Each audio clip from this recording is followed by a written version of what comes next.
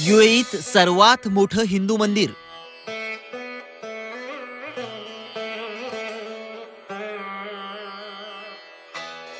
मंदिरासाठी सातशे कोटींचा खर्च.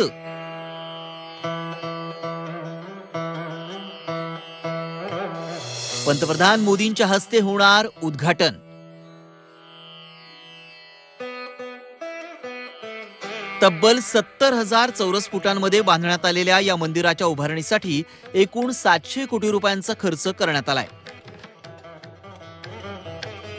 बॅप्स म्हणजेच अक्षर पुरुषोत्तम स्वामीनारायण संस्थेमार्फत या मंदिराची उभारणी करण्यात आली आहे. याच संस्थेनं दिल्लीतील अक्षरधाम मंदिर आणि अमेरिकेतील न्यू जर्सी इथं आशियाबाहेरचं सर्वात मोठं मंदिर बांधलंय. बॅप्सनं जगभरात अकराशेहून अधिक हिंदू मंदिरं बांधली आहेत. अबुधाबीमध्ये जवळपास सत्तर हजार चौरस फुटात या मंदिराची उभारणी करण्यात आली आहे. या मंदिराची उंची एकशे आठ फूट इतकी आहे.